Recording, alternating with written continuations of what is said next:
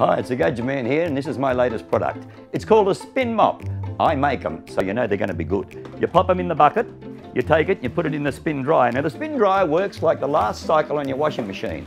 Four pushes down, that's all you do, four.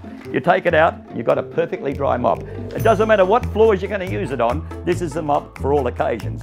Now, if you have a spill, don't panic. Now with an ordinary mop you go back and forward, with mine you don't, you dab it. The reason you dab it, I've made the mop heads out of 100% microfiber. The more you dab it, the drier the floor becomes.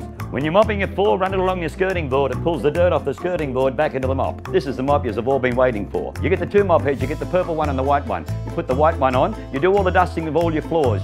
Do all your floors, take it, put it up and do your ceiling. Turn it on the side and do your walls. Take it outside and do all your windows with your garden hose. Then when it gets too dirty, throw it in the washing machine. You get a 12 months guarantee. Look for me in a shopping centre near you and dial the number on the screen to order.